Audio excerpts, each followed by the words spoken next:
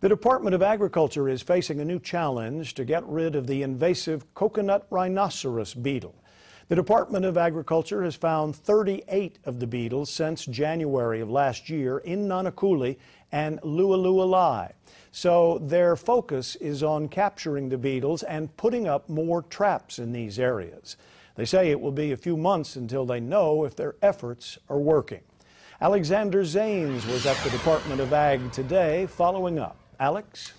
Thanks, Joe. The Department of Agriculture tells me they could use some help getting rid of the beetles. According to the Department of Ag, the number of beetles is down, but they did see a small spike after our recent wet weather. Right now, the department is knocking on doors and asking to set up traps and look through residents' green waste. They say they've only been turned down a few times, but that without residents' help, it will be much more difficult to know if what they're doing is working. The plan right now is to create more traps in the area between Iroquois Point and on into Nanakuli.